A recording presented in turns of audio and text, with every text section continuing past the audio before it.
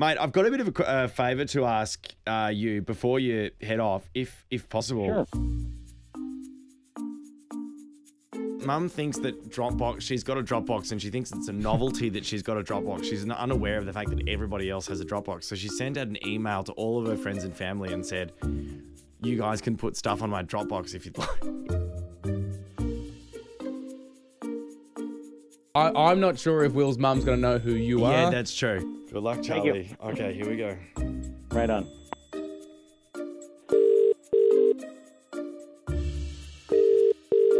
Penny McMahon speaking. Yeah, hi. Uh, can I speak to Penny, please? Who's speaking? Oh, I'm sorry, Penny. Hey, it's uh, it's it's Charlie Sheen calling. I hope I'm not bothering you. I am actually at work at the moment.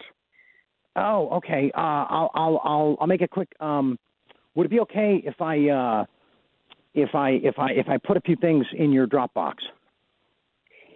Um, Charlie, can I just can I?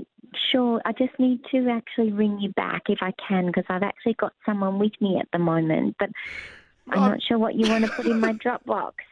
Oh, just some just some photos and poems and uh, a couple of gifts I picked up at the airport.